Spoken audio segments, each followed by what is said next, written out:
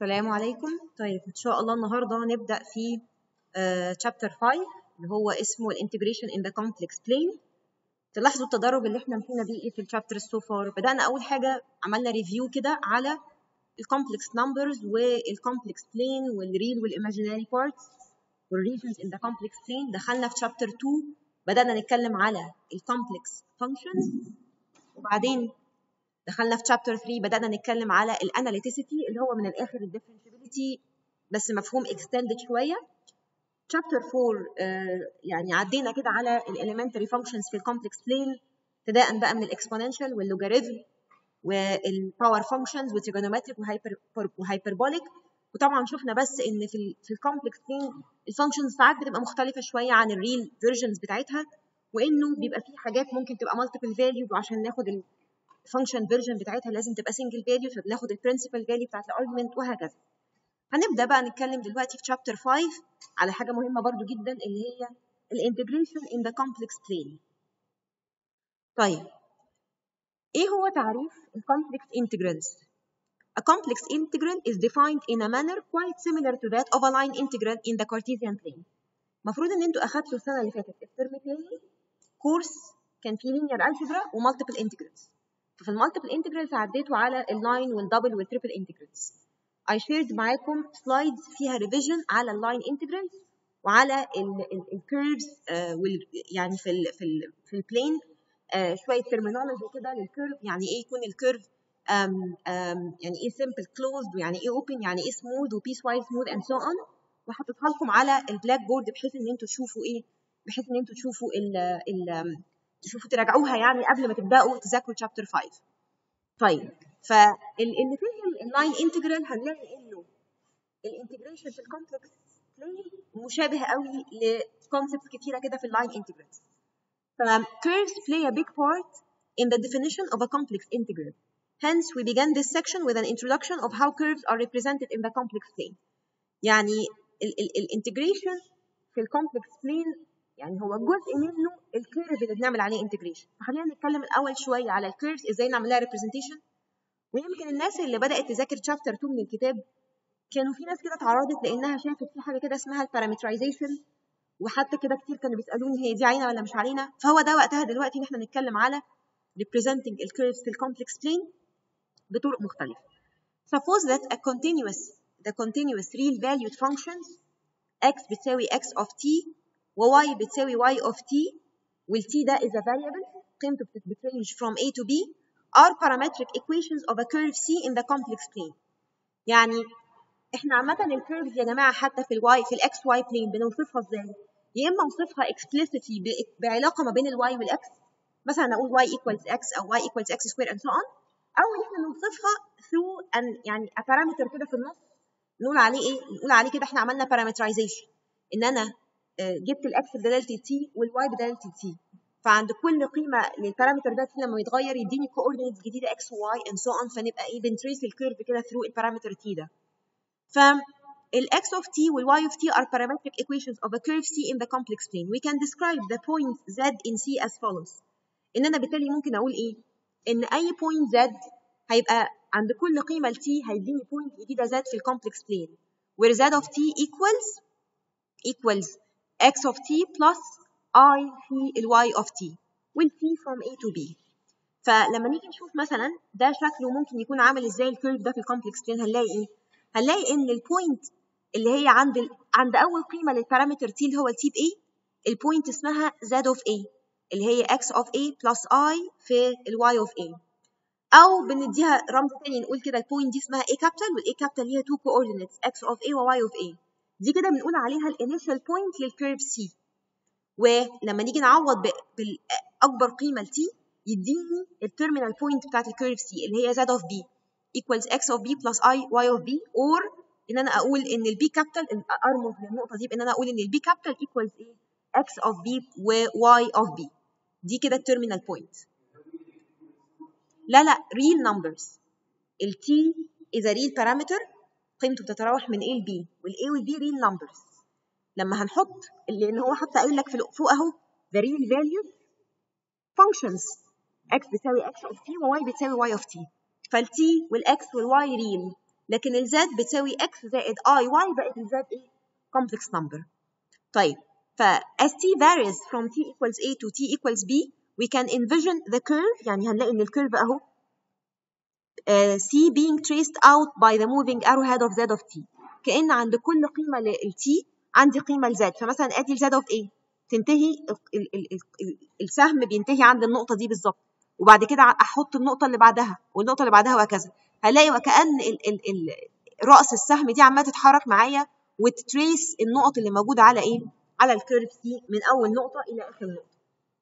فنلاحظ طبعا هنا قوي يا جماعة إن ال curve ال curve مش بس شوية نقط ولكن إيه اللي إيه اللي يهمنا كمان في الكيرف؟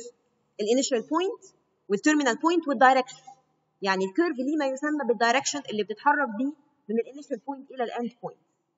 In complex analysis, a piece-wise smooth curved C is called a contour or path.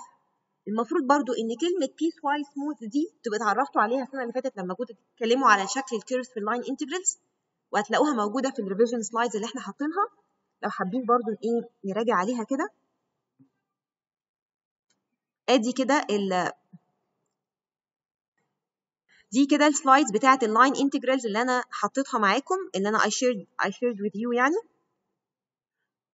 هتلاقوا إيه؟ هتلاقوا كده في introduction آه على ال curves في الأول. إمتى يكون ال curve نقول عليه إن هو smooth ال curve نقول عليه إن هو smooth حتى كلمة من, من الاسم smooth بمعنى إن أنت ال curve متصل و smooth ما فيهوش أي حتة فيها إيه؟ فيها مثلا sharp changes ولا أي حاجة. ده كده ال curve اللي هو smooth يعني مثلا curve يا جماعة بالشكل ده كده. ده كده smooth curve.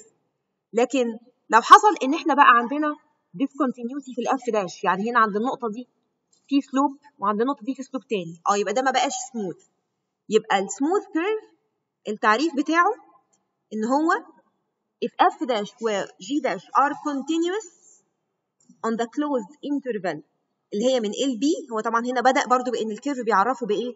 ب parametric equations x بتساوي f of t و y بتساوي g of t. وعندنا terminal point end points يعني. فبيقول إن ال curve يبقى smooth لو كان ال f dash وال g dash continuous.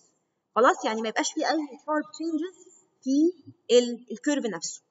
طيب لو إمتى بقى أقول عليه إن هو piece wise smooth آه if it consists of a finite number of smooth curves joined end to end.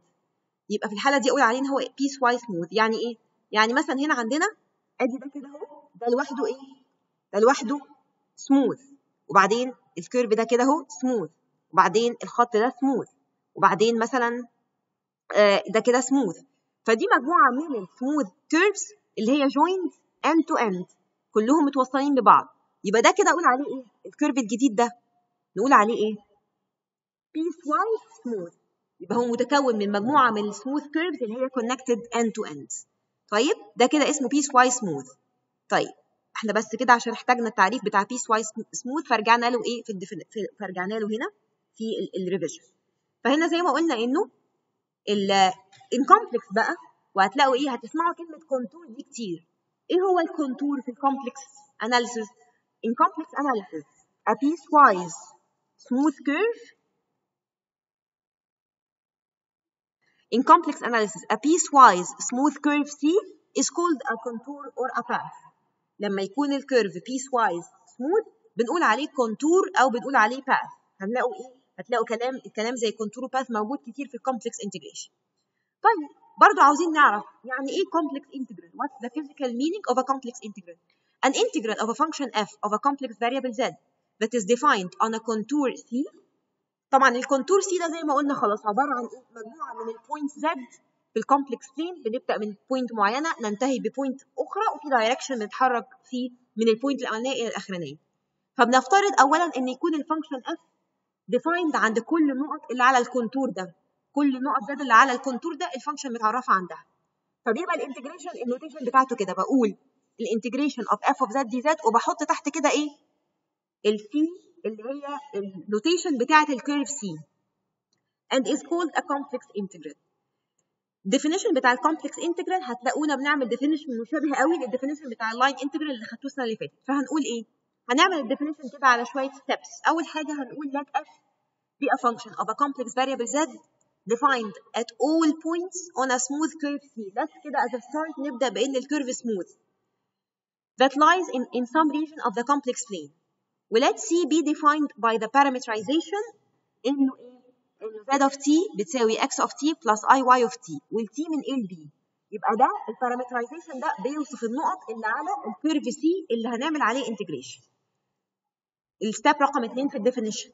Let p be a partition of the parameter interval من a ل b into n sub intervals يعني إحنا خلي بالكم يا جماعة ال parameter t نفسه ده ال parameter t اللي باخده بعوض بيه في ال two functions x و y ده ليه قيم.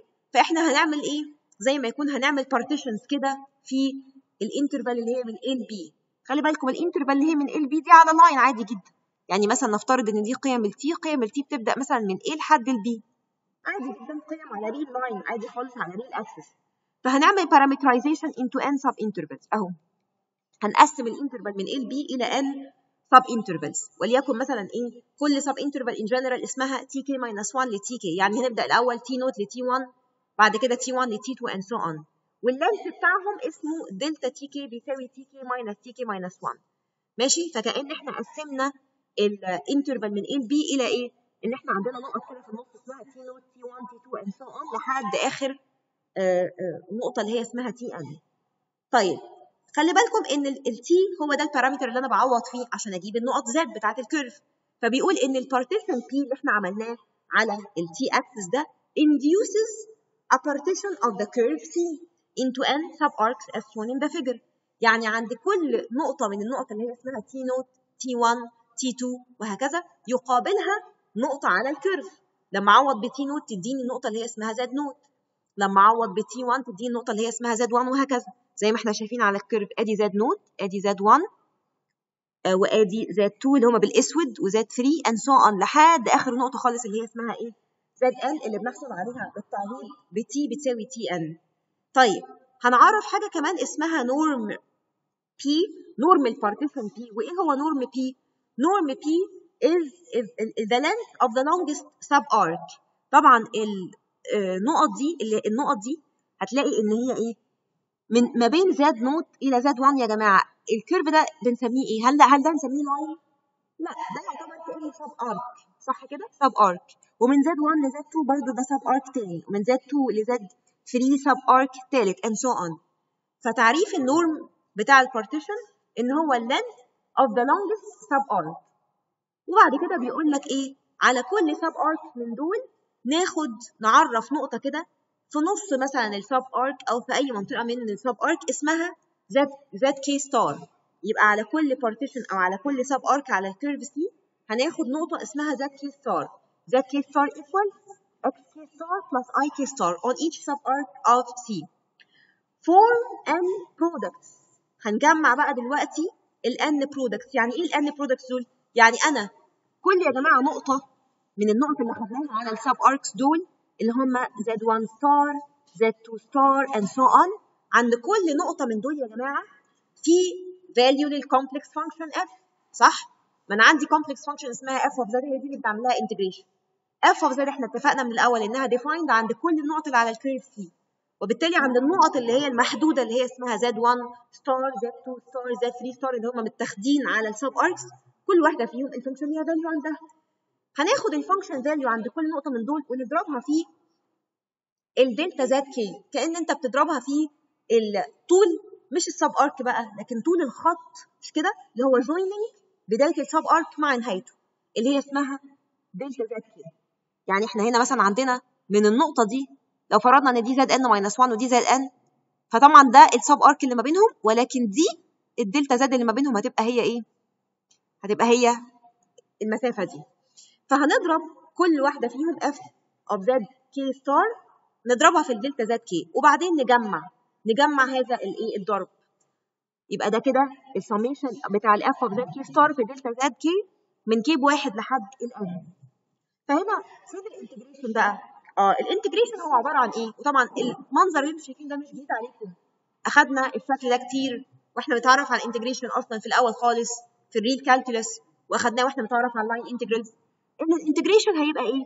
آه لما إحنا ناخد لما نقعد يا جماعة نصغر ال partition ال partitions اللي على ال t interval لما نقعد نصغرها تقوم ال sub arcs تصغر تصغر تصغر تقوم ال delta z k تصغر فلما ناخد ال limit بتاع السميشن ده لما as as ال norm بتاع ال P tends to zero هو ده تعريف ال integration of f of z along ال curve اللي هو اسمه c يبقى تاني. إيه هو تعريف ال integration؟ نتخيل كده. أنا عندي curve c أهو. تمام؟ ده كده curve c فكأننا الأول قطعناه إلى sub arcs صغيرة جدا.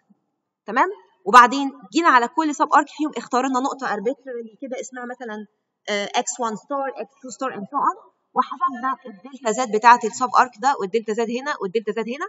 وضربنا نضرب بقى ضرب complex بضرب function اللي هي في الآخر أي function f of z في الآخر بيطلع لها إيه؟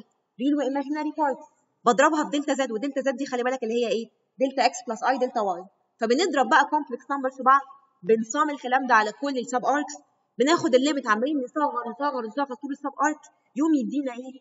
ال integration طبعا ده مشابه جدا لتعريف ال integration في ال real في ال real analysis صح؟ إن إحنا كنا بناخد ال area under the curve بناخد strips صغيرة قوي ناخد عرض كل strip ونضربه في الارتفاع بتاعه وبعدين ناخد ال limit لما لما ال width بتاع ال strips دي يصغر جدا لما ناخد ال limit لما ده لما ال width ده يعني يؤول إلى الصفر فده يدينا ال integration فنفس الفكرة هنا في ال complex integration في ال definition بتاعه. تمام. شوية بقى ملاحظات إنه إيه بقى؟ طيب طول ما إحنا كاتبين ال integration sign كده يا جماعة وتحت كده كاتبين curve c يبقى ده مفهوم إن ده open path أو open contour يعني ال curve c ليه نقطة بداية وليه نقطة نهاية مختلفين عن بعض. و once إن إحنا بدأنا نعمل على ال integration دايرة كده ونكتب تحت سي يبقى ده معناها إن ال contour ده ماله يا جماعة. Closed. يعني نقطة البداية ونقطه النهاية هيقفلوا على بعض. يبقى ال notation دي is used to represent a complex integral around إيه بقى؟ A positively oriented closed curve إمتى يكون ال closed curve positively oriented لما يكون ال direction اللي بتتحرك بيه على ال curve ده إيه؟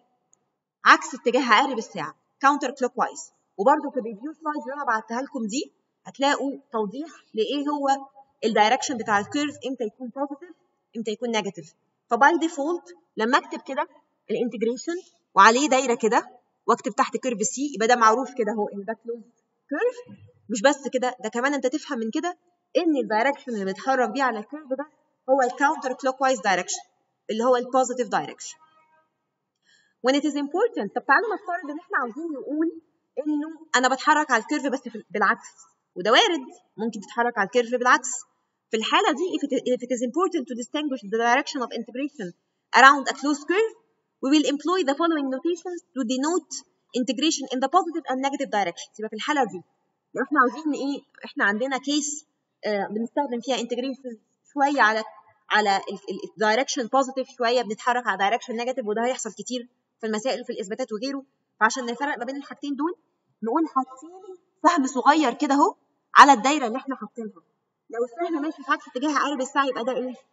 ال positive direction لو السهم زي ما أنتم شايفين ماشي في اتجاه عقارب الساعة clockwise يبقى ده ال negative direction يبقى بنحط الأسهم دي لما يكون أنا عندي ال integrations مستخدمة شوية عكس وشوية مع عقارب الساعة فعشان نفرق ما بينهم بس ك notation ما حطيناش أسهم وكتبنا عادي جدا ال ال ال يعني الدايرة من غير أي أسهم يبقى ده by default إيه؟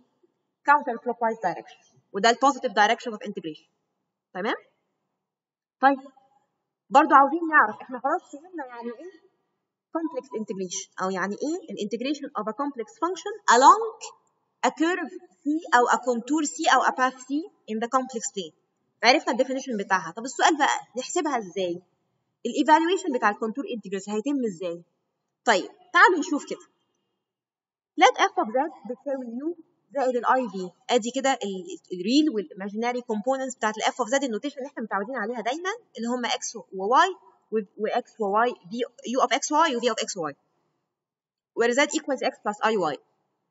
Then تعالوا بقى نفك ال integration يبقى ال integration of f of z على ال path اللي هو اسمه c. الكلام ده هيساوي إيه؟ كتبنا ال f في ال rectangular form بتاعتها u plus i v وكتبنا ال dz في ال rectangular form بتاعتها اللي هي dx plus i dy تعالوا نضرب u plus i v في dx plus i dy ونفصل ال real وال imaginary parts لوحدهم. يبقى ادي ال u مع ال dx وال i v مع ال i dy يدوني الجزء ال real ال u مع ال i dy وال i v مع ال dx يدوني الجزء ال imaginary اللي موجود جنبه ده. خلاص؟ وممكن برضو ال property بتاع ال integration هي نفسها هنا إن ال integration بتاع f plus g x مثلا بيساوي integration f plus integration زي برضو هنا can split the, the integration into the summation of both integrations. فده بيساوي ال integration بتاع u dx minus v dy plus i في ال integration بتاع v dx plus u dy at this يا جماعة إحنا خلاص بنتكلم على إنه إيه؟ كل واحد على حدة من ال two integrations اللي هم موجودين دول ما هو إلا real line integral من اللي كنتوا بتحسبوهم السنة اللي فاتت في كورس ال multiple integrals مفيش أي اختلاف فيه. In other words the real imaginary parts of a contour integral are a pair of real line integrals اللي هم التكامل u dx ناقص v dy على ال path أو ال curve c والتكامل الثاني اللي هو v dx زائد v dy على ال path c. فإحنا ادي اول طريقه لحساب ال integration ان انت تفك ال f تحط ال rectangular form بتاعتها تفك ال dz وتحط ال rectangular form تضربهم في بعض تفصل ال integration إلى two real integrations real line integrations تحسب كل واحد فيهم بالطرق اللي درستها السنة اللي فاتت لحساب ال line integrals وبرده دي موجودة في ال review slides اللي معاكم اللي أنا حطيتها على Blackboard تعالوا ناخد example أو يعني نتعرف بس على على حاجة كده اللي هي يعني طيب هنحسب برضه ال integrations دي إزاي فلو كانت ال curve C ده موصوف ب parametric equations x of t و y of t وال t من A ل B بتوصف ال curve C يبقى زي ما قلنا ال z of t هتساوي إيه؟ هتساوي x of t plus i في ال y of t يبقى ده كده الشكل العام لاي نقطة على ال curve وبالتالي نقدر نقول إيه يا جماعة؟ يعني برضو نقدر نقول دي دي كده هو طرق يعني كلها طرق مختلفة على حسب ال curve موصوف شكله إزاي وعلى حسب إيه وعلى حسب ال function نفسها شكلها إزاي. فممكن إن إحنا نقول إيه؟ ممكن إن إحنا نقول طيب إحنا ممكن نعمل إيه؟ نعمل transformation للمسألة كلها إلى ال parameter اللي هو اسمه t once إن أنا عندي 1 parameter of integration هنعرف نعمل integration مفيش مشكلة. فممكن نقول إنه لو كانت ال x بتساوي x of t وال y بتساوي y of t وال t من A ل B دول parametric equations لل curve C يبقى ممكن نقول إيه؟ ممكن نعمل transformation من z ل t إزاي؟ شيل أي حاجة في المسألة z أو dz وحطها in terms of التي أو الفي تي فهنقول اولا ال curve C ده ده شوية نقط z ليها بداية وليها نهاية. أنا هنقل من z إلى t فمن z إلى t يبقى على ال t ال t axis فين البداية وفين النهاية؟ إيه يبقى كده عملنا transformation للايه ال limits بتاعت ال integration طيب بالنسبة لل integrand اللي هو f of z هتشيل ال z وتحطها in terms of t يبقى f of z of t طيب بالنسبة لل dz هنحط مكانها إيه؟ خلي بالك آدي ال z أهو بتساوي z of t يبقى ال dz dt اللي هي مين؟ Z dash of t صح؟ يبقى ال dz اللي هي هتساوي إيه؟ Z داش of t dt كأنها تشيل نون يعني. يبقى بدل ال dz هحط مكانها z داش of t dt ومين هي طبعا ال z dash ال z dash اللي هي x dash x dash of t زائد i في ال y dash of t. يعني لو إحنا عارفين ال z بالشكل ده وعاوزين نجيب لها ديريفيتيف بالنسبة للتي هنجيب الديريفيتيف بتاع الاكس بلس i في الديريفيتيف بتاع الواي فبالشكل ده ال integration اللي فوق ده يا جماعة يتحول كله إلى إيه؟ إلى ان هو integration في ال t هنعرف نعمله على طول بالنسبة لل parameter t كأنه هو بقى definite integral بالنسبة لل t كأنك عندك function of x بتعملها integration بالنسبة ل x وال limit وال limit على x طيب تعالوا نشوف الكلام ده through شوية examples. أول حاجة evaluate ال integration of z conjugate dz where c is the curve given by parametric equations اللي هي اسمها 3t وال y ب t تربيع. هتشوفوا دلوقتي إن إحنا هنعوض وهنوصل لنفس الصورة اللي إحنا حتى وصلنا لها ال slide اللي فات. يعني إحنا الصورة دي يا جماعة أنت مش محتاج تحفظها انت عوض وفك ال integration واضرب ال complex numbers في بعض هتوصل للصورة دي. تمام؟ إحنا بنمشي كده اهو. يعني إيه في المسألة؟ step by step بتلاقي نفسك وصلت لل integration الأخير ده اللي هو فصلت فيه real و imaginary فأول حاجة عاوزين نحسب ال integration of ال complex function اللي هي اسمها z conjugate dz where c is the curve given by x بتساوي 3t و y بتساوي t تربيع وال t من ناقص 1 إلى 4 طبعا يا جماعة زي ما أنتم هتشوفوا دلوقتي أكيد في الآخر ال integration هو تجميع لقيم ال f على ال curve c ده. فأكيد ال integration معتمد على ال curve. يعني لو أنا غيرت ال curve وبكامل نفس ال function هيديني قيمة مختلفة. تمام كده؟ زي ما يكون بدي لك بال integral وبغير لك ال limits. كل ما أغير ال limit هيديني قيمة جديدة. نفس الفكرة هنا. كل ما أغير ال curve حتى ولو أنا عندي نفس ال integral هيديني قيمة جديدة. هنعمل إيه؟ طيب المسألة given بال parametric equations بدلالة ال t يبقى يلا نشيل كل حاجة في ال integration من z ونحولها ل t يبقى هنقول إيه؟ اولا إحنا عندنا ال z بتساوي كام؟ هتساوي x زائد ال i y يعني بتساوي 3t plus i t تربيع. جميل. من ال z هنجيب حاجتين. هنجيب هنجيب ال z conjugate وهنجيب ال dz بدلالة ال dt يبقى ال z conjugate بكام يا جماعة؟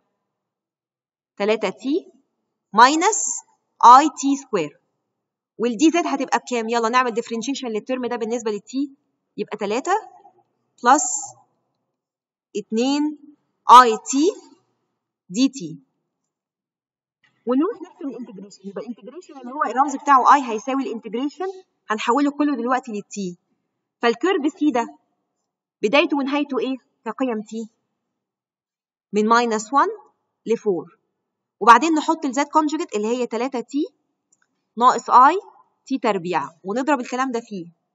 ال dz اللي هي كام؟ 3 plus 2 i t dt فالخطوه اللي كده نعمل إيه؟ نضرب ال two brackets دول في بعض ونجمع ال real لوحده ونجمع ال imaginary لوحده ونكمل ال integration. dz لا. هنا plus ما هي دي ما هي دي plus i في تربيع. لما لما تعمل لها differentiation يطلع لك 2 t في ال i يعني 2 i t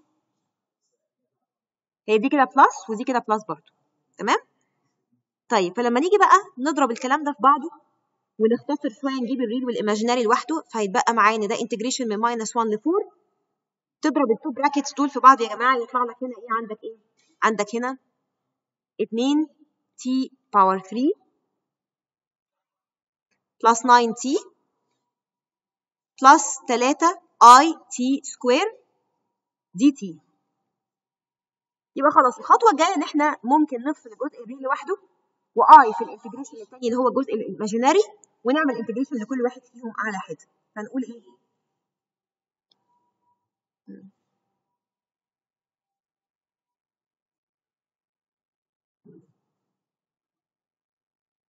يبقى ال I equals ادي ال integration من minus 1 ل 4 ل 2 t power 3 plus 9 t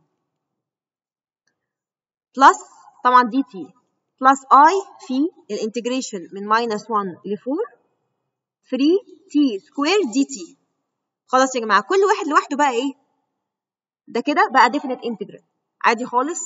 limits في ال t وبتكمل وبتكمل بالنسبة لل t وده برده بقى definite integral ال limits في ال t وبتكمل بالنسبة لل t فيبقى النتيجة هتكمل بقى كل واحد فيهم بنفس القوانين العادية اللي إحنا إيه متعودين عليها. فيبقى ال result إن ده هيساوي هنا دي 2t power 4 over 4 plus 9t power 2 over 2 ونعمل substitution هنا بال إيه؟ upper minus lower plus i في 3t power 3 over 3 ونحط برضو ال limit هنا من minus 1 ل 4 upper minus lower. تعمل substitution في ده وتختصره. تعمل substitution في ده وتختصره. يطلع لك في النهاية نتيجة التكامل هتطلع في الآخر رقم. complex number. أهي 195 plus 65i يبقى عملنا إيه تاني؟ الكيرف كان موصوف ببارامتريك ايكويشنز الاكس بدلاله التي والواي بدلاله التي فبدأنا نحول ال integration كله من z إلى t من أول ال limits نفسها ال curve ده ليه نقطة بداية ونهاية تقابل قيم لل t يبقى خلينا البداية والنهاية بتاعت ال curve ده هي على ال integration هي النقطة ال initial لل t والنقطة ال final لل t ال integrand جوه اللي هو f of z كتبناه in terms of t.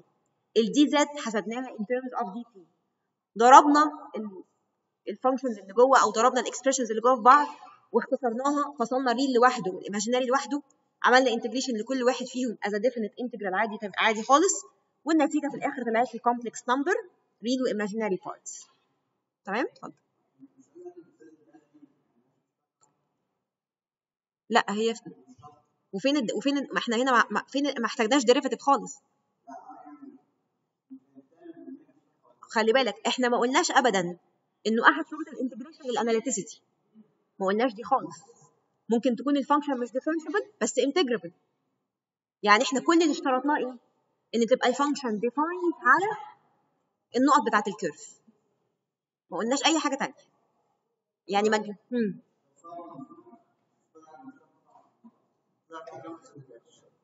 معلش ما سمعتش سؤالك. z conjugate قصدك؟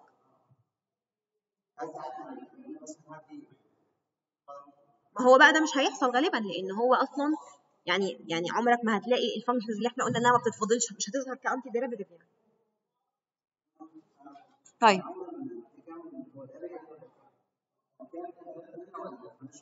هو هنا هو ما once دخلت في ال complex ما, ما, ما عنديش حاجة قوي اسمها curve يعني أنا بقول لك إيه أنت عندك line أهو صح؟ في ال complex plane عند كل نقطة لل line يقابلها نقطة اسمها f of z بس ال f of z دي الحقيقة دي ليها two dimensions مش dimension واحد. يعني دي مش زي ال f of x قيمة واحدة فأقول أنا بضرب ارتفاع في عرض من تحت. يعني ال f of z دي نفسها ليها real و imaginary parts فما تقدرش قوي تنفيجن تنفيجن الانتجريشن هنا كاريا لأن ال f of z دي ليها إيه؟ ليها two components z ليها two components ما تقدرش تتخيلها قوي ك area إلا إن أنت تتخيلها إن أنت بتجمع يعني أنت بتتخيل أنت إيه؟ كأن أنت عندك ال x of t دي شخصيا هيعمل لك curve وال y of t هيعمل لك curve فكأن أنت بتحسب ال area under كل curve من الاثنين وده تحطه ك real وده تحطه ك i في imaginary يعني ممكن تحاول تتخيلها بالشكل ده. بس هي على بعضها as f of z مفيش حاجة اسمها قوي area under the curve لأن ال function f of z شخصيا زي ما قلنا it's not a curve أصلا. طيب؟ طيب. تعالوا نشوف برضو سؤال تاني. عاوزين نحسب ال integration بس المرة دي بقى إيه؟ على closed contour اللي هو 1 over z. ال function هي اسمها 1 over z dz where c is the circle اللي هي موصوفة بال parametric equations دي. x بتساوي cosine t و y بتساوي sine t. لو حاولنا نفكر في في, يعني ال cosine t وال y sine t دول هتلاقوا دول يا جماعة يعني لو انت جيت تجمع كده وتكتب إيه وتكتب x square plus y square هتطلع بكام؟ ب 1 دي كده equation بتاعت circle شكلها إيه؟ ال center بتاعها بصفر وال radius بتاعها ب 1 يبقى خلاص تعرف بقى دلوقتي إن ال circle اللي هي ال center بتاعها بصفر وال radius ب 1 ال parametric equation بتاعتها مين؟ x بتساوي cosine t و y بتساوي sine t دي حاجة شهيرة جدا. طيب فآدي ال circle اهي وعاوزين نعمل الإيه؟ يعني ده كده ال curve طالما ما ادانيش directions يبقى by default ال curve ده ال direction بتاعه عامل إزاي؟ عكس عقارب الساعة. فآدي ال integration 1 over z where c is the circle x بتساوي cosine t و y بتساوي sine t وال t طبعا من صفر ل 2 pi بتكمل يعني دورة كاملة عشان تديني ال circle بالكامل وإلا ما يبقاش closed closed curve يعني عايزين نجيب ال integration ده تعالوا نحول كل حاجة ل parameter t ونستخدم بقى forms مناسبة. يعني ساعات ال rectangular form بتبقى حلوة ساعات ال polar form بتبقى هي الانسب أو ال exponential form فبما إن أنا عندي هنا واحد على z دايما طالما في واحد على z أو في powers أو كده يبقى مين أحسن حاجة؟ ال polar form أو. أو كمان يعني more specifically ال exponential form فهنا يا جماعة إحنا عندنا ال z بتساوي إيه؟ بتساوي x زائد ال i y يعني هتساوي cosine t زائد ال i sine t فنحط الكلام ده في ال exponential form تبقى عبارة عن إيه على طول؟ e power i t طيب ده كده ال z يبقى ال dz هيساوي كام؟ i e power i t dt ويبقى الواحد على z بكام؟ e power minus i t صح كده؟ يبقى هنا ال integration ده هيعمله إزاي بقى؟ هنقول ال integration ده اولا ال limits بتاعته هتبقى من صفر ل 2 pi والواحد على z اهي e power minus i t times ال dz ب i في e power it dt طلعنا نطلع ال i بره برضو في ال integration عادي في ال complex تقدر تطلع constant بره ويبقى عندي ال integration من صفر ل 2 pi كام بقى جوه ال integration؟ e power it في e power minus it بواحد dt يبقى الكلام ده هيساوي إيه؟ i في ال t ونحط طبعا القيم من صفر ل 2 pi يبقى 2 pi i. يبقى نتيجه ال integration ده 2 pi i. برضو هنا ال parameterization خلاني إيه أعمل إيه أحول كل حاجة من z ل t واستخدم ال forms المناسبة ل z إذا كانت rectangular أو إذا كانت polar أو exponential ونعمل ال integration طيب هو واحد يسأل سؤال هو معلش دايما ال curves يعني هتبقى موصوفة ب parametric equations لا مش شرط. ممكن تبقى موصوفة ب explicit equations. يعني ممكن تبقى موصوفة بإن ال y دالة في ال x على طول. يعني ممكن يقول لي أعمل ال integration ده along the curve مثلا y بتساوي 5x أو y بتساوي x تربيع ممكن. If x and y are related by means of a continuous real function y بتساوي f of x. y بتساوي f of x دي بتوصف إيه؟ ال curve اللي بعمل عليه integration. For some curve c. Then في الحالة دي يا جماعة ممكن إننا إحنا لما كنا موصوفة ال curve بال parametric equations عملنا إيه؟ حولنا integration كله من z ل t. طب هنا لو أنا عندي y بتساوي f of x يبقى ممكن أستخدم واحد فيهم إن هو ده يكون ال parameter اللي أحول ال integration كله ليه عشان أعرف أعمل integration. فممكن في الحالة دي يبقى ال variable x هو ده ان أنا أستخدمه ك parameter إن أنا أحول ال integration كله واكتبه بداله ال x على سبيل المثال عاوزين نحسب ال integration بتاع ال complex function ال f of z اللي هي اسمها 8 x تربيع ناقص i y بالنسبة ل z على ال curve c وال curve c هو إيه؟ هو ال line segment y بتساوي 5 x وال x من صفر ل 2 يعني لو إحنا كده رسمنا.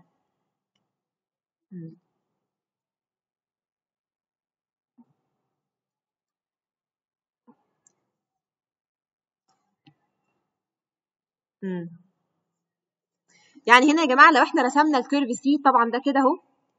ال z plane ادي y بتساوي 5 x يبقى خط كده ال slope بتاعه كبير شوية وال x من صفر ل 2 وادي اتجاه ال curve اهو بادئ من x بصفر لحد ال x ب 2 ده كده ال curve c. فاحنا عاوزين نعمل integration على ال curve c لل function دي اسمها 8 x square minus i y dz وإيه هي المعادلة بتاعت ال curve إيه؟ إن ال y بتساوي بتساوي 5x ده معناها يا جماعة إن كل النقط اللي على ال curve ده دايما بتتحقق فيها العلاقه دي ما بين ال y وال x. يعني نقدر نقول إيه بمعنى آخر؟ إن ال z اللي هي x زائد i y هتساوي كام؟ هتساوي x زائد 5 اي إكس أو 5 إكس اي أي حاجة. يعني ممكن ناخد ال ال ال ال 1 plus 5 i كده وده يتضرب في الاكس يبقى الزد كل النقط z اللي موجودة على ال curve ده دي بتتوصف بالطريقة دي. مش بس كده ما خلي بالك ال integrand أصلا أنت بتحسب قيمه على النقطة اللي على الخط ده صح؟ يعني برضو تقدر تقول إيه؟ تقدر تروح ليه ال integrand اللي هناك ده وت... وتعوض عن ال y بدلاله ال x لأن إحنا بنحسب قيم ال f of z على النقط z اللي على ال curve اللي هي متحققة عندها ان y بتساوي 5 x. يبقى هقول إيه؟ 8 x square ناقص i في ال 5 x والكلام ده هيتضرب فيه. مين هنا يا جماعة ال dz ال dz بتساوي كام؟ 1 plus 5 i dx. يبقى هنضربه ده في ال 1 plus 5 i dx. طبعا لسه ما خلصناش لازم نحط إيه؟ لازم نحط الحدود. فمين هي الحدود هنا؟ ال x من كام لكام؟ من صفر ل 2 وأصبح ال x هو ال variable of integration أصبح ال x هو ال variable of integration فخلاص ناقص دلوقتي بس إن إحنا نختصر الكلام اللي جوه ده شوية. نختصر الكلام اللي جوه ده نضرب كده الحاجات في بعضها. طبعا إحنا ممكن نقول إيه؟ هنقول إيه؟ أنا ممكن مبدئيا كده أطلع ال constant ده بره اللي هو 1 plus 5 i يبقى أدي عندي ال integration من صفر ل 2 تعالوا نخط... تعالوا يعني ده كده هو عندي ال real part أهو اللي هو اسمه إيه؟ 8 إكس تربيع إكس ممكن أفتح حتى هنا square bracket وال imaginary هنا اللي هو اسمه من صفر ل 2 أهي 5 x dx خلاص؟ طيب. يبقى ده بيساوي ادي ال 1 plus 5 i تضربها في ال integration الأولاني 8 x square ده اللي هو 8 x power 3 على 3 ونحط ال limits من صفر ل 2 ناقص i في ال integration الثاني 5x square over 2 ونحط برضو ال limits من صفر ل 2 هتحسب بقى الحاجات اللي بتكون brackets وتحط ال limits هيطلع لك complex number تضرب ال complex number ده في 1 plus 5 i يطلع في الآخر 2 1 2 1 4 over 3 plus 290 over 3i 2 1 4 2 1 4 over 3 plus 290 over 3i دي كده قيمه ال integration complex number وكده ال integration خلص. طيب. أي سؤال حتى الآن؟ طيب. تعالوا بقى نشوف ال properties بتاعه ال contour integrals فهتلاقوا إنها فيها شبه كبير جدا من ال properties بتاعت ال real integrals إنه إيه؟ Suppose that a function f و g are continuous in a domain d and c is a smooth curve lying entirely in d. شايفين طبعا الشروط يا جماعة ملهاش أي علاقة بإن يكون ال function إيه؟ analytic يعني حتى الآن إحنا ما تعرضناش لل analyticity خالص as a condition for integration. Then ال integration ل k في f of z بيساوي k. في ال integration بتاع ال f of z يبقى ال constants ممكن تطلع بره ودي حاجة إحنا حتى استخدمناها already وإحنا بنكمل. ال integration بتاع f plus g equals ال integration بتاع f plus ال integration بتاع g. طيب مش بس كده ده في حاجة كمان. فاكرين يا جماعة إن إحنا كنا ممكن في ال real integration أو في ال definite integration أقول إن ال integration من a ل b أقفل كده في النص بنقطة c وأقول ده بيساوي من a ل c زائد من c ل b نفس الشيء هنا. إن أنا بقول إن الانتجريشن على الكيرف c الانتجريشن على الكيرف c ممكن ن split ل integration على c1 زائد integration على c2 where c consists of the smooth curves اللي هي اسمها c1 and c2 joined end to end. يعني أنا in general لو عندي piece wise smooth curve وبعمل integration عليه كله ممكن أقسم ال integration إلى integration على مجموعة ال curve ات اللي هي إيه؟ السموث المكونة لل curve الكبير ده C1 لوحده plus C2 لوحده plus C3 لوحده and so on. وبرده حاجة كمان تعالوا نفتكر في ال definite integration كان عندنا integration from A to B بيساوي إيه؟ minus ال integration from B to A. برده هنا لو بعمل integration على ال curve اللي اسمه negative c مين هو ال negative c ده؟ هو زي سي بس ماشيين في عكس الاتجاه يعني بادئين من ال end إلى ال initial point فده بيساوي minus ال integration على c يعني في المسألة اللي فاتت دي لو كنا بدل ما اتحركنا على ال curve من صفر لاثنين من إكس صفر لاكس باثنين كنا اتحركنا عليه بالعكس. يعني من إكس باثنين لاكس بصفر يبقى كان هيديني negative النتيجة اللي وصلنا لها دي. Where minus c denotes the curve having the opposite orientation of c. طيب تعالوا بقى نستخدم الايه ال properties دي ونحسب ال integration بتاع ال function اللي هي اسمها x square plus i y square dz. Where c is the contour shown in figure. فالسؤال بقى هل ال contour اللي في ال figure ده يا جماعة smooth ولا piece wise smooth piece wise smooth طبعا لأن هو في نقطة في النص كده فيها sharp يعني edge vertex كده يبقى ده مكون من مجموعة من ال smooth curve connected end to end يبقى ده piece wise smooth فنعمل إيه عشان نجيب ال integration نقسمه نجيب ال integration على c 1 الأول ونجيب ال integration على c 2 الأول. سي 1 لوحده ليه equation y بدلاله ال x و c 2 لوحده ليه equation ثاني وكل واحد تحسبه هيطلع له طبعا قيمه ال integration وتجمع في الآخر على بعض. تعالوا نعمل كده ال exercise ده.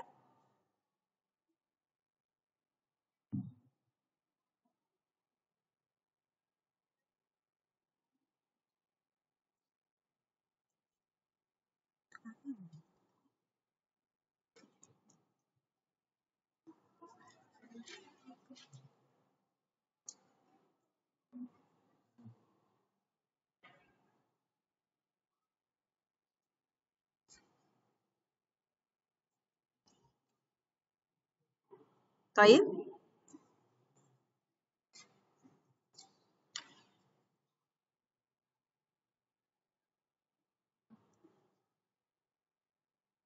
يبقى إحنا دلوقتي إيه؟ عندنا آدي الانتجريشن أهو.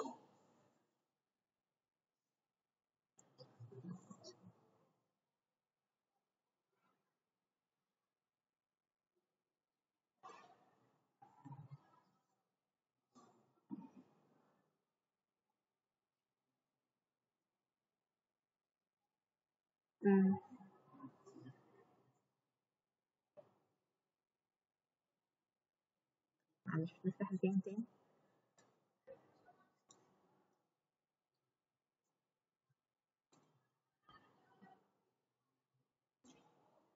عندنا ال integration على c ل x square plus i y square dz وآدي ال two curves اهم سي 1 وC2 فالنقطة دي هي واحد. والنقطة دي واحد plus i معناها إن هنا برضو واحد. ده كده ال x وده ال y والنقطة اللي فوق دي 1 plus 2 i معناها إن النقطة دي كده 2 وطبعا دي الصفر فقلنا اولا إن هنقول إن ال integration ده هيساوي ال integration على c 1 ل x square plus i y square dz زائد ال integration على c 2 ل x square plus i y square dz نعمل إيه؟ عايزين نمسك كل واحد لوحده تعالوا نشوف ال path اللي هو اسمه c1 إيه يا جماعة ال equation اللي بتوصفه؟ y equals x وال x من كام لكام؟ من 0 ل 1 نروح يلا لل integration طبعا لما y equals x يبقى ال z هتساوي كام؟ x plus i y يعني x plus i x اللي هو 1 plus i x. وبالتالي ممكن نقول إيه؟ إنه ال dz بتساوي 1 plus i dx ونروح يلا لل integration ونجيب كده ما يسمى بال i 1 اللي هو ال integration على c 1 أدي ال integration أهو يا جماعة بصوا عليه كده على اليمين.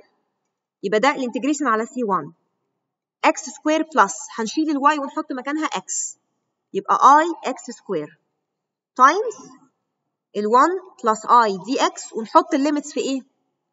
في x اللي هي من 0 ل 1 خلاص؟ ده كده سهل خالص. تطلع بس ال 1 ممكن نطلع ال 1 plus i من هنا. common factor ودي 1 plus i فنطلع بره. 1 plus i squared في integration من صفر لواحد لإيه؟ ل x square dx طبعا دي اللي هي تبقى x power 3 over 3 اولا مين هو ال 1 plus i square؟ نعرف نجيبها كده. مجرد النظر. ال 1 plus i square بالظبط هي هي 2i لأن ال 1 plus i في ال polar form ال modulus بتاعه root 2 والزاوية pi over 4 هن square يبقى بن double ال modulus وبين إيه؟ وبين آه بين square ال modulus وبين double ال angle يبقى ده كده على طول 2i وهنا دي x power 3 over 3 يبقى ده 2 over 3i وتبقى دي كده نتيجة ال integration الأولاني. 2 over 3i على ال path اللي هو اسمه c1 نشوف بقى ال path اللي هو اسمه c2 c2 إيه ال equation اللي بتوصفه. إنه إيه؟ ان ال x ب1 وال y قيمتها من كام لكام؟ من واحد لاثنين يبقى لا يلا نروح نشوف كده نعوض الحاجات دي في ال integration. يبقى ال I 2 equals هنحط كل حاجة in terms of ال y أدي ال integration أهو. ال x بواحد زائد i y تربيع. طبعا ال d ال dz هتبقى بكام؟ هو هنا ال z بكام؟ 1 plus i y يبقى ال dz بكام؟ i dy يبقى هنضرب هنا في ال i في ال dy والقيم ال y تتراوح من واحد لاثنين أصبح ال integration كله في ال y ممكن إيه؟ نضرب بقى ال i دي جوه ونطلع بقى real و imaginary parts تحسب بقى كده ال I 2 بنفس الطرق اللي عملناها يطلع minus 7 over 3 plus i وبالتالي يبقى ال integration النهائي I هيساوي إيه؟ I 1 plus I 2 خلاص؟ ده اللي هو بيساوي. هنجمع بقى ال I 1 وال I 2 ال I 1 كان بس ليه كان pure imaginary فهنا ال real هيبقى زي ما هو minus 7 over 3 plus 5 over 3 i واضح؟ طيب. الحلول دي طبعا كلها موجودة بالتفصيل. يعني already برضو أنا حطيتها على ال Blackboard تقدروا إيه تلاقوها موجودة بالتفصيل يعني.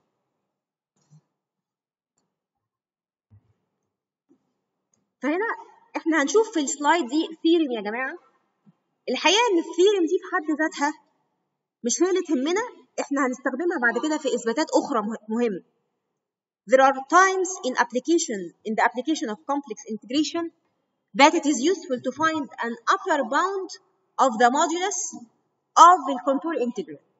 يعني إحنا ساعات بنبقى إيه؟ مش interested في إننا نحسب ال integration نفسه بس طبعا زي ما أنتم شايفين ال integration ده بيطلع في الآخر complex number صح؟ يعني ليه modulus فساعات بنبقى عايزين نعرف ال integration ده ال modulus بتاعه إيه ال upper bound ليه؟ دي ساعات بتبقى of interest في بعض التطبيقات وهنشوف ده حتى قدام وإحنا بناخد اثباتات كده شوية theorems إن إحنا مش محتاجين ال integration إحنا محتاجين بس ال upper bound بتاع ال modulus بتاعه ففي theorem اسمها bounding theorem من الاسم كده حتى هي بتتكلم على ال upper bound بتاع ال modulus بتاع ال integration بتقول إيه if f is, is continuous on a smooth curve c and if modulus ال f ال f نفسها اللي إحنا لسه هنعملها integration لو modulus ال f أقل من أو يساوي قيمة كده اسمها m capital for all z on c then ال integration بقى بتاع f of z دي زائد على c ال modulus بتاعه هيبقى أقل من أو يساوي قيمة اسمها إيه؟ قيمة اسمها m في l where m is the length of the curve c. طب أنتوا إيه رأيكم كده الكلام ده make sense ولا لأ؟ هو ال integration هو عبارة عن إيه؟ بضرب ال... كأني بضرب ال f of z في delta z صح؟ وبحرك الكلام ده كله على ال curve كله. فأنا بقول الضرب ده إيه هو ال limit بتاع ال absolute بتاعه؟ غالبا هيبقى هو أقصى قيمة لل f مضروبة في إيه؟ في طول ال contour كله. فدي اسمها ساعات ال theorem دي بيسموها ال ML inequality أو ساعات ال inequality دي بيسموها ال ML inequality يعني أنت من الآخر عاوز تعرف ال upper bound بتاع ال modulus بتاع ال integration بتعمل إيه؟ بتشوف ال upper bound بتاع ال modulus بتاع ال function نفسها مش everywhere لا ال upper bound بتاع ال modulus ده على ال curve بس. هو ده اللي يهمنا مش everywhere لأن أنا ب sum ال values بتاعت ال function على ال curve بس. وتضربه في طول ال curve ال ML ده يدي لك ال upper bound بتاع ال modulus بتاع ال integration ال theorem واضحه واضحة معناها إيه؟ طيب ليها إثبات موجود في ال file اللي أنا حطاه على ال Blackboard optional يعني مش في امتحانات. عايزين تبصوا عليه تقروه براحتكم. ده ده for your knowledge يعني. موجود ده برضه الإثبات ده موجود في كتاب إثبات مش هسألكم فيه في امتحانات. ومش هنقوله برضه في المحاضرة إن هو الإثبات نفسه ما يهمنيش. أنا يهمني النظرية نفسها. Theorem 5.3 is sometimes referred to as the ML inequality.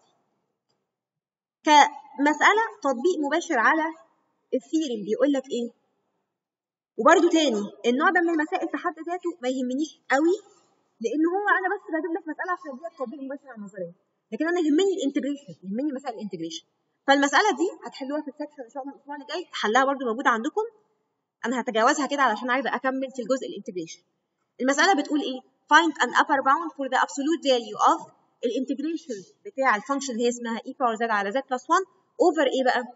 closed contour c والسي موصوف بال circle اللي هي اسمها modulus z بتساوي 4 يبقى انت عشان تستخدم يا جماعة النظرية دي هتدور على إيه؟ على حاجتين. اولا هتشوف ال function نفسها اللي هي اسمها e power z على z plus 1 يا ترى إيه هو ال upper bound بتاع ال absolute بتاعها؟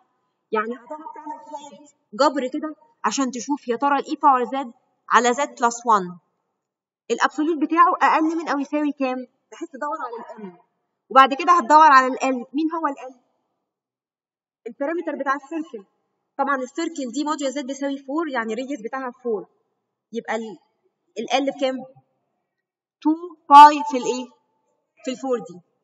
بعد ما تجيب ال M وال L اهو حسبتها تضربهم في بعض يدي لك ال upper bound بتاع ال modulus بتاع ال integration طبعا إحنا أصلا بعد كده هنتعلم نحسب ال integration نفسه إزاي.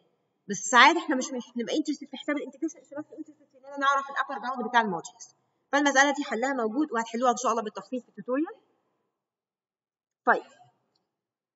تعالوا بقى إحنا عاوزين نبدأ نخش في الكلام المهم في ال integration. طبعا اللي فات برده كان مهم اللي هو بدايات حساب ال integration ال contour وإزاي لو عندك piecewise contour تعمل إيه؟ يبقى هتقسمه طب وكل smooth curve لوحده أعمل إيه؟ حاجة من اثنين يا إما بيكون عندك parametric equation لل curve يا إما عندك explicit equation لل curve y بدلالة ال x يبقى بتحاول تحول ال integration كله لل parameter t أو نحول ال integration كله لل x ونحسب نجمع في الآخر. شوية نظريات خطيرة ومهمة جدا في ال complex integration بتدي لك قيم يعني right away ل integrations معقدة جدا تحسبها على طول لو تحققت شروط معينة. تعالوا نشوف كده.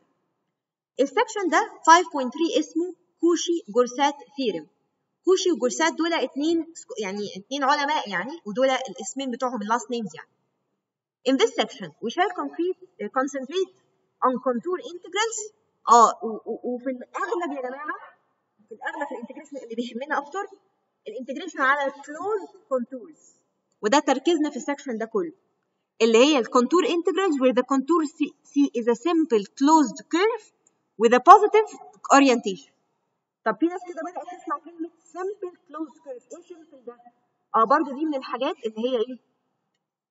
اللي هي موجودة في ال revision اللي أنا عملت لكم يعني upload ليها على ال Blackboard إن في إن في ال curves في حاجة اسمها simple closed curve وفي حاجة اسمها non-simple curve.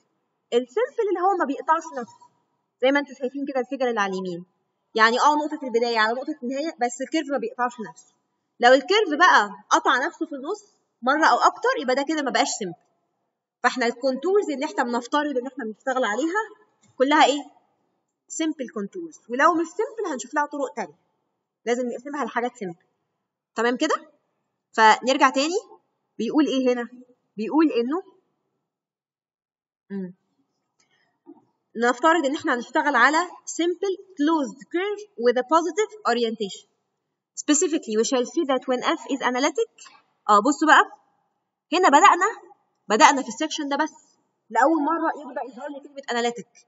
ودي الشروط اللي بقول عليها اللي هتظهر في النظريات فتبسط لي تماما حساب ال integration يعني إحنا في العموم نعرف نحسب integration لأي function حتى لو ما كانتش analytic ولكن عشان أستخدم نظريات معينة في حساب ال integration بيبقى فيها شرط ال analyticity دي عشان أعرف أستخدم النظرية.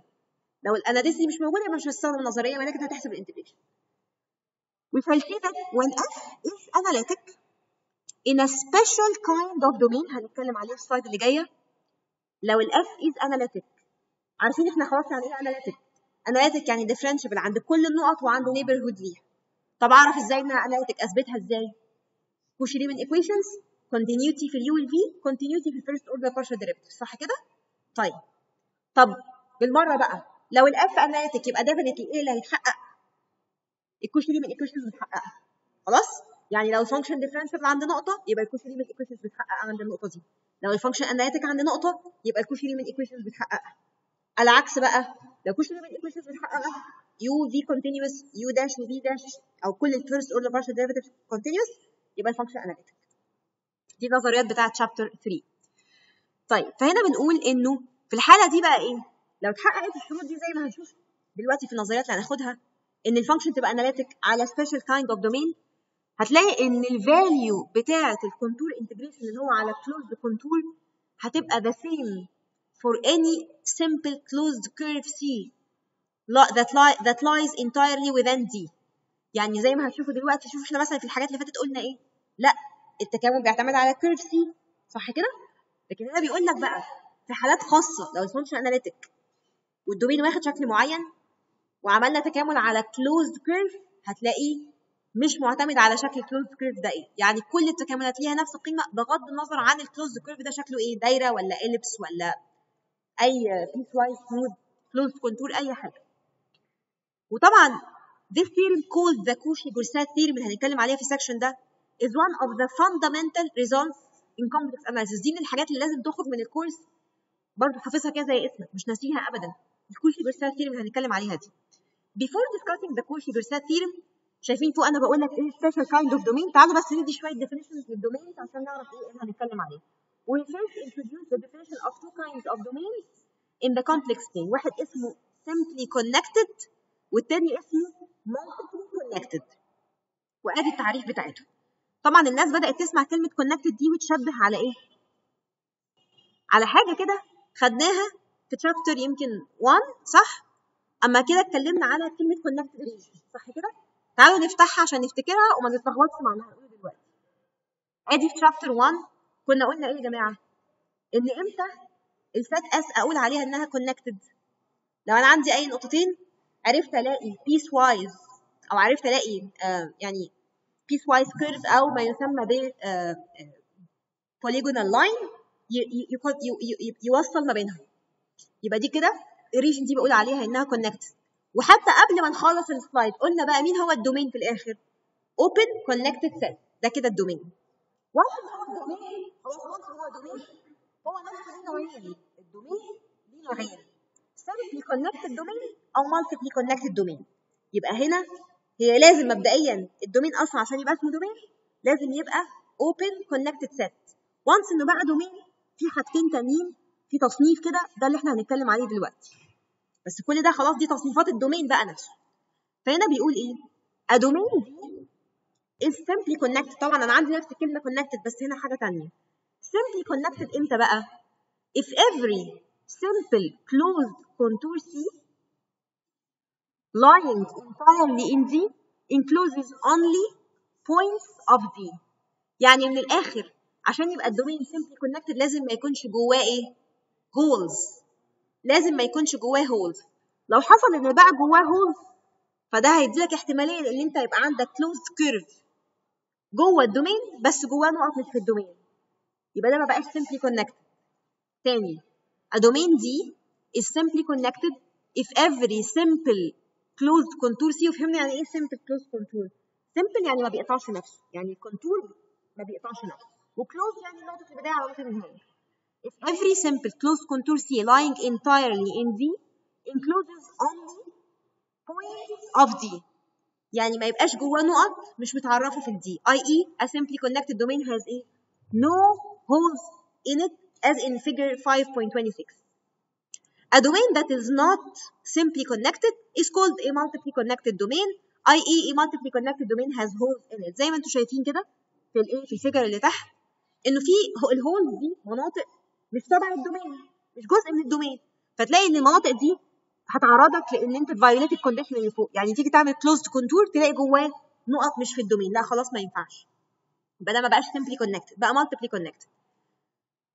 طيب وشال بيقول لك بقى إيه برضو؟ يعني تفصيله زياده كده شوية. لو ال domain جواه one hole بنقول عليه doubly connected domain.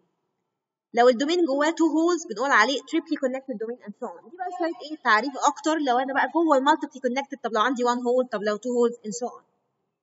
تعالوا نشوف شوية example ال entire complex plane لو أنا ال complex plane كله معايا وكله defined ده يعتبر إيه؟ simply connected ولا multiply simply connected طبعا لأن هو كل domain كل complex plane متعرف معانا وبالتالي لو خدنا أي closed contour هيبقى كل النقط اللي جواه برضه في ال domain طيب ال open disk اللي هو اسمه modulus z أقل من 2 ده ده يا ترى إيه؟ آه modulus z أقل من 2 يعني حاجة كده. صح كده؟ دي كده الاثنين أهي.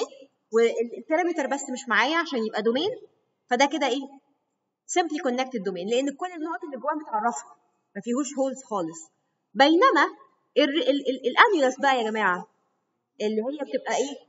زي ما يكون disk وشلنا إيه حتة من نصه كده The open circular annulus defined by modulus z أكبر من واحد وأقل من الاثنين. يعني الحتة دي بس. دي كده تعتبر إيه بقى؟ آه طبعا مش simply connected domain أو more specifically doubly connected domain لأنها فيها one hole من جواها. فيها one hole من جواها اللي هي ال circle اللي جوه اللي هي اسمها modulus z أقل من واحد. أو يعني ال disk اللي جوه ده. واضح يا جماعة ال definition؟ طبعا إحنا كل ده عشان نرجع نقول إيه؟ عشان نرجع النظرية اللي هنحطها دلوقتي. هتحط لك إن ال domain اللي إحنا النظرية دي بارد عليه simply connected. في سؤال ال open circular annulus دي تمام؟ ارسمها تاني كده. ال open circular annulus دي دي شكلها إيه؟ أدي هنا modulus z أكبر من واحد وأقل من اتنين صح؟ يعني فين النقط اللي متعرفه فيها؟ النقط اللي في النص مش كده؟ دي النقط اللي في النص. اولا دي تنفع تبقى domain ولا لأ؟ هل هي open connected set؟ آه هي open connected set. أي نقطتين فيها أقدر ألاقي خط مكسر كده يوصل ما بينها. يبقى هي domain إحنا مش مختلفين. السؤال بقى هل هو simply connected domain ولا multiply connected ولا multiply connected domain فطبعا بسبب وجود ال hole اللي في النص دي ال hole اللي في وسط ال disk ده خلت إيه؟ خلت مثلا إن أنا ممكن يبقى عندي كده بص كده أدي ممكن آخد closed curve C أهو والنقط اللي جواه في جزء منها مش متعرف. ما هو simply connected كان بيقول اي closed curve أعمله جوه ال domain ده يبقى كل النقط اللي جواه متعرفة في ال domain. ده مش حاصل هنا لأن في hole كامل من مجموعة نقط مش في ال domain ده أصلا. يبقى ده ما بقاش اسمه simply connected بقى إيه multiply connected domain وبما إن جواه hole واحدة يبقى doubly connected واضحة كده؟ تمام.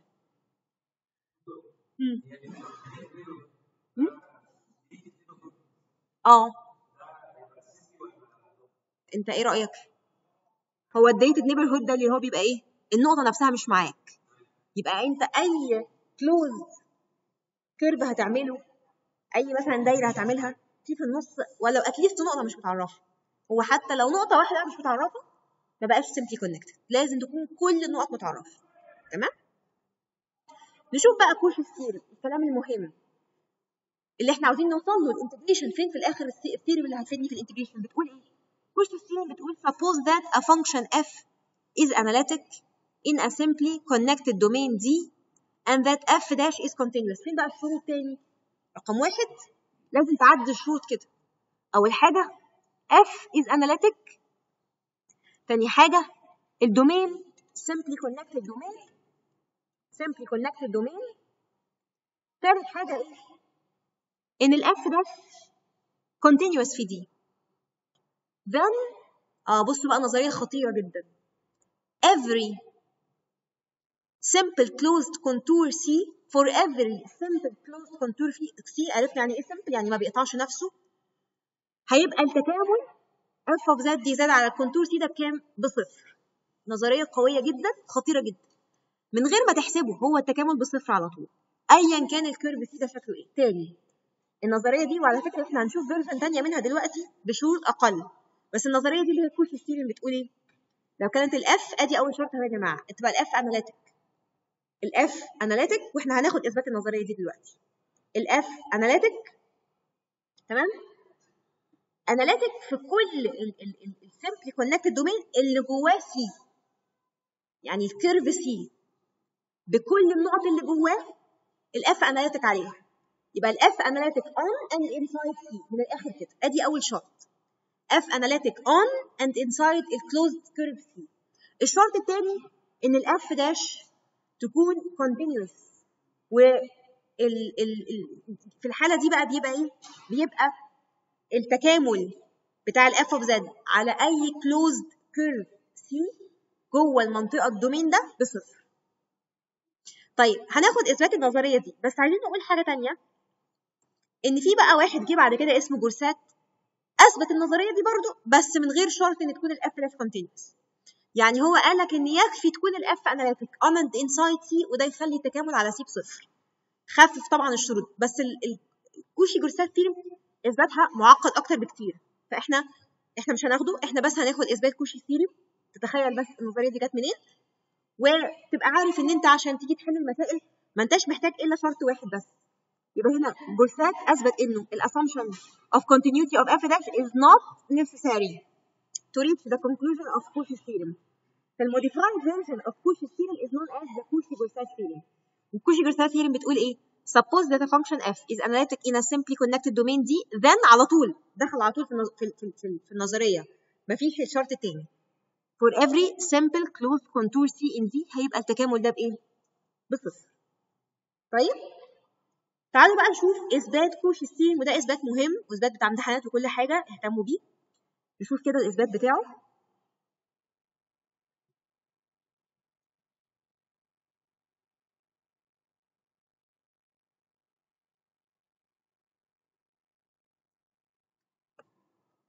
فاحنا هنا إحنا عاوزين نثبت إيه يا جماعة؟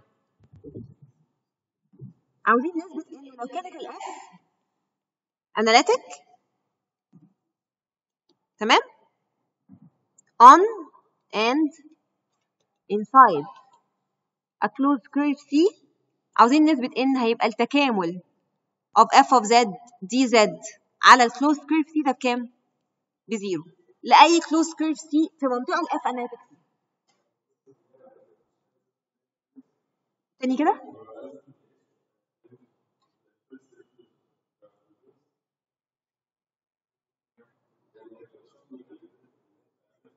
um, هو إحنا دي لما كنا بنثبت ال analyticity كنا بنحتاج يبقى إيه؟ كنا بنحتاج يبقى ال partial ال first order partial derivatives يعني تبقى كلها تبقى كلها uh, continuous. مم.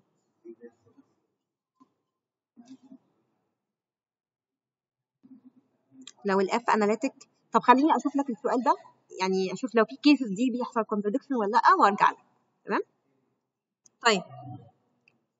هنا يا جماعة إثبات النظرية دي معتمد على حاجتين.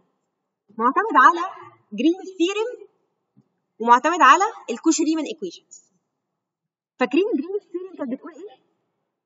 Green theorem دي خدتوها السنة اللي فاتت في كورس ال multiple integrals Green theorem دي كانت بتقول إيه؟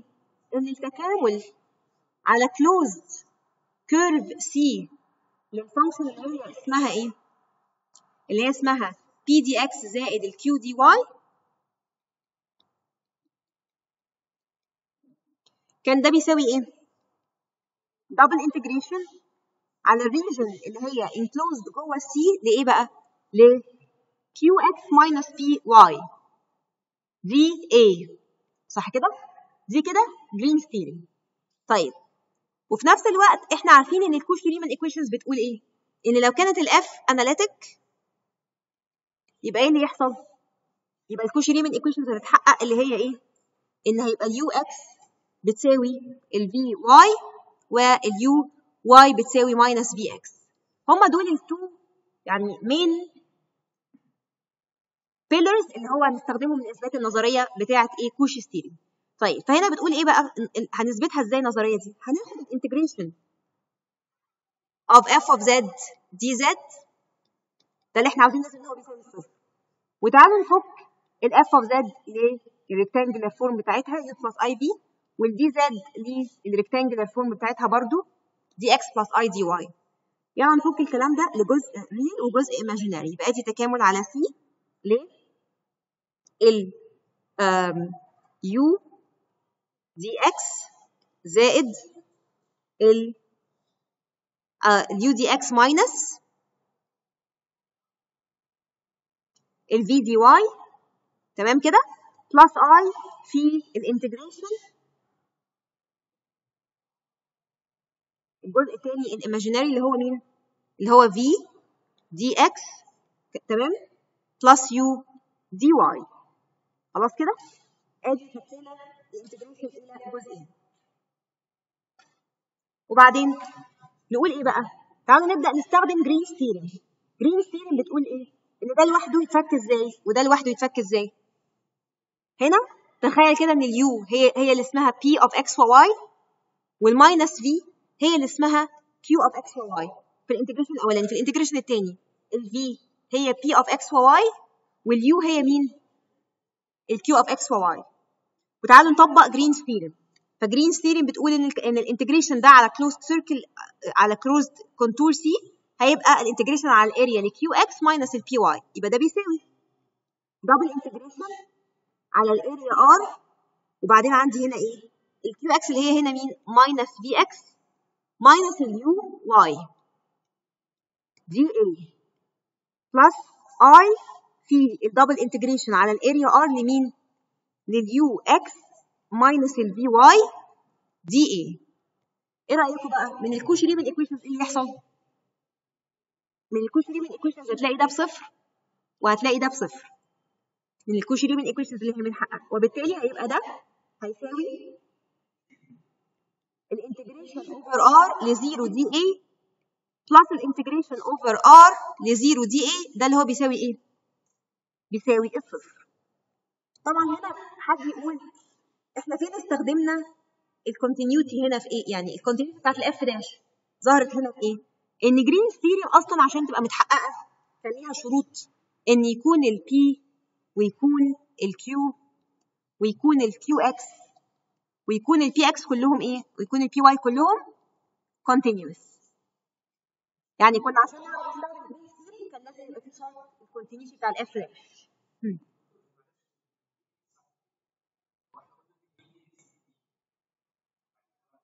آه هنا u dx ناقص ال v dy ال dx راحت فين؟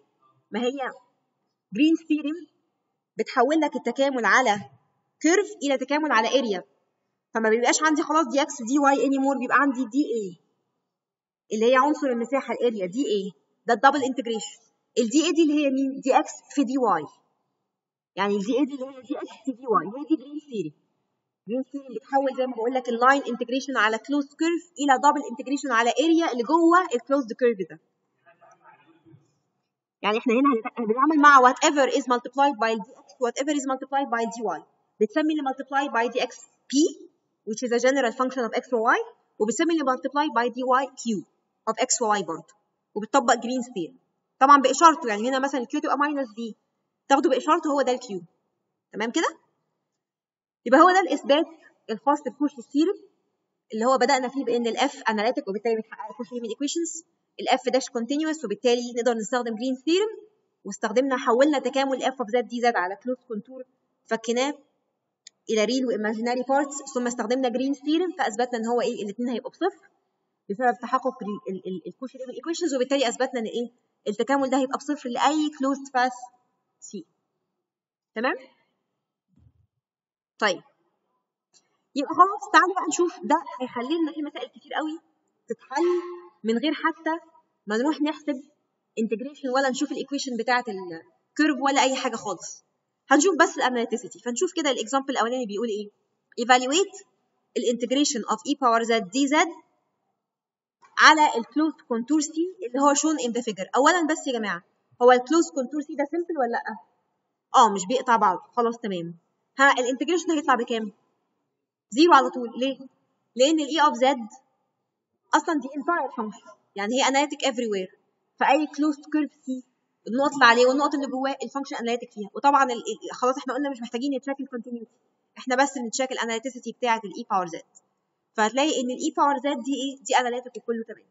خلاص يبقى اذا ال integration على طول بصفر. يبقى ادي الحل بتاعه. هو زي ما أنتوا قلتوا كده إنه إيه؟ إنه خلاص هتقول بما إن ال e power z is entire يبقى therefore على طول ال integration لل e power z على أي closed curve C هيبقى بيساوي إيه؟ الصفر على أي closed curve C أي شكل. طبعا هو يتعمد المفروض يديلك شكل ما تعرفش حتى توصفه ب equation يعني أنت مش مطلوب منك تروح تحسب حتى ال integration بالتفصيل زي ما عملنا الأول لأن هو معروف إن هو بإيه؟ صفر على طول. طيب نشوف المساله اللي بعدها. Evaluate the integration of دي زد على زد سكوير على ال curve C where c is ال ellipse ده. آه خلي بالك. هي ال function اللي اسمها واحد على z تربيع. analytic فين؟ Everywhere except صفر. مش كده؟ آه يبقى لازم نشوف ال contour ده نرسمه. ونشوف الصفر ده جواه ولا براه. لو طلع الصفر بره ال contour يبقى التكامل هيبقى بإيه؟ ب zero. لكن لو الصفر جوه ال contour يبقى ما أقدرش استخدم Cauchy Goursat theorem امال اعمل إيه؟ لازم بقى تستخدم بقى parametric equations أو ايا كان وتحسب التكامل ده بالتفصيل زي ما عملنا قبل كده. تحول ال parameters كلها ل t ل x وتحط الحدود كلها في t أو في x وايه وتحله عادي جدا ومش هيطلع في الآخر في الحالة دي. ممكن يطلع بصفر وممكن ما يطلعش بصفر. يعني يعني مش مش مضمون يعني. طيب يلا بينا نرسم كده. فلما نيجي نشوف إزاي إزاي يا جماعة بنرسم ال ellipse؟ شوف اول حاجة ال center بتاع ال ellipse مين هو ال center؟ 2 و5 مثلا دي كده ال5 ودي كده مثلا ال2 أدي ال center. وبعدين في major و minor axis في الحالة دي طبعا هنا دي كأنها مقسومة على 1 ودي مقسومة على 4 يبقى مين ال major ومين ال minor ال minor اللي هو هيبقى along ال x هتمشي يمين وشمال كده بواحد. وال major اللي هو هيبقى along ال y هتطلع فوق وتحت بكام؟ 2 و2 و2 دي كده 2 ودي 2 وترسم ال ellipse أهم حاجة بس إن ال ellipse في الآخر إيه؟ كله موجود في ال first quadrant وطبعا ال direction بتاع ال curve C إيه؟ counter clockwise إيه رأيكم نقطة ال zero دي فين؟ بره أصلا يبقى هنا بنقول إن ال f of z اللي هي تساوي واحد على z تربيع is analytic everywhere except at z بتساوي صفر وإنه z بتساوي صفر is إيه outside ال curve C أصلا يبقى therefore ال integration بتاع واحد على z تربيع dz بكام؟ ب zero على ال curve C ده. أو على أي closed curve C يكون النقطة zero إيه؟ براه خالص. لا على ال boundary ما ينفعش أستخدم ال theorem. يعني هنا زي ما قلنا ال theorem لازم تستخدمها إمتى؟ لما يكون ال function analytic على ال curve وجوه ال curve. تمام كده؟